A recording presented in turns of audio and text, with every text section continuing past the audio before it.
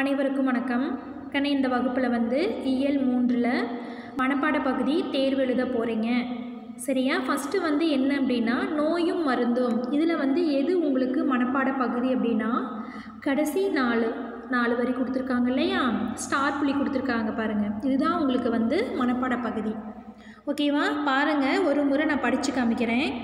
பேதற்கு அரும்பினி தாம் இவை அப்பினி தீர்தற்கு உரிய திரியோக மருந்து இவை. ஓர்தல் தெளிவோடு ஒழுக்கம் இவையுண்டார்.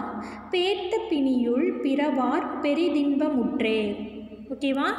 இது வந்து உங்களுக்கு மனப்பாட பகுதி. இது தேர்வு எழுதணும். அடுத்த செய்யுள் பாருங்கள் வருமுன் காப்போம். இதில் எது உங்களுக்கு மனப்பாட பகுதி அப்படின்னா ஃபஸ்ட்டு மூணு பேராகிராஃப் பாருங்கள் உங்களுக்கு இங்கே ஸ்டார் புள்ளி கொடுத்துருக்காங்க பாருங்கள் ஃபஸ்ட்டு மூணு இதுதான் உங்களுக்கு மனப்பாட பகுதி. கவனிங்க கண்ணி இங்கே பாருங்கள் நீங்கள் செய்யுள் எழுதும்போது இங்கே பாருங்கள் பின்னாடி பாரு கொஸ்டின் மார்க்கு கம்மா ஆச்சரியக்குறி எல்லாம் கொடுத்துருக்காங்க இல்லையா? நீங்களும் எழுதும்போது இது எல்லாமே வந்து ஃபாலோ பண்ணணும். புக்கில் எப்படி உங்களுக்கு மனப்பாட பகுதி கொடுத்துருக்காங்களோ அதே மாதிரி தான் நீங்கள் என்ன பண்ணணும்? தேர்வு எழுதும் போது உங்கள் நோட்டில் நீங்கள் எழுதணும். பாருங்கள் ஒரு டைம் வந்து ப படித்து காமிக்கிறேன். உடலின் உறுதி உடையவரே உலகில் இன்பம் உடையவராம்.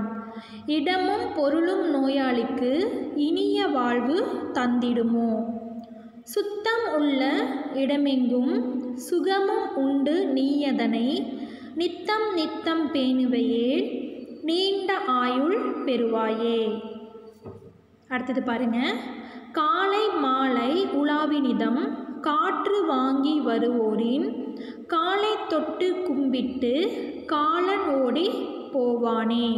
இது வரையும் தாங்கன்னு உங்களுக்கு மனப்பாட பகுதி. இதுதான் இன்றைக்கி வந்து இந்த வகுப்பில் நீங்கள் தேர்வு எழுத போகிறீங்க ஓகேவா? ஃபஸ்ட்டு நோயும் மருந்தும்ல கடைசி இருக்கிற இந்த நாலு லைனும். அதோடு சேர்த்து வருமுன் காப்போம் இருக்கு இல்லையா? இந்த மூணு பற்றியும் நீங்கள் என்ன பண்ணணும் அப்படின்னா தேர்வு நோட்டில் நீங்கள் தேர்வு எழுத போகிறீங்க. ஓகேவா பாட நோட்டில் எழுத வேண்டாம். தேர்வு நோட்டில் எழுதி நீங்கள் எப்பயும் போல் எனக்கு அனுப்புங்க. ஓகேவா மீண்டும் அடுத்த வகுப்பில் சந்திப்போம். நன்றி. வணக்கம்.